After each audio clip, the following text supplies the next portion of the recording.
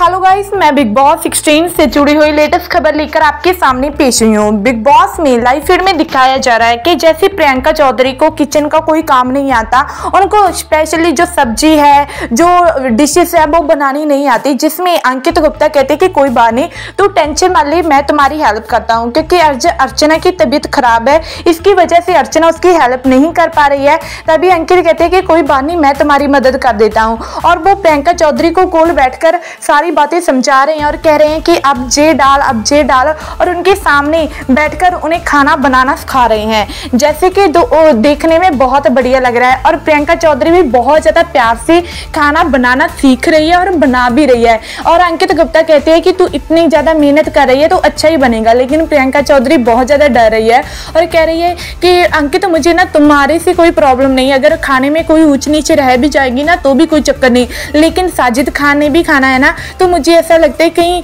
कुछ ऐसा मैं गलत ना डाल दूँ, कोई मसाला ज़्यादा ना डाल दूँ, जिसके करके उनकी हालत ख़राब हो जाए। लेकिन तभी अंकित कहते हैं कि नहीं, ऐसा नहीं होगा। तो दिल से खाना बना रही है तो बहुत अच्छा बनेगा। आई होप आपको भी अंकित एंड प्रियंका चौधरी की जी बॉन्डिंग बहुत ज़्यादा अच्छी लग रही होगी। अगर वीडियो अच्छी लगी तो प्लीज़ वीडियो को लाइक एंड चैनल को सब्सक्राइब नहीं किया तो प्लीज़ जल्दी से जल्दी कर दीजिए। धन्यवाद।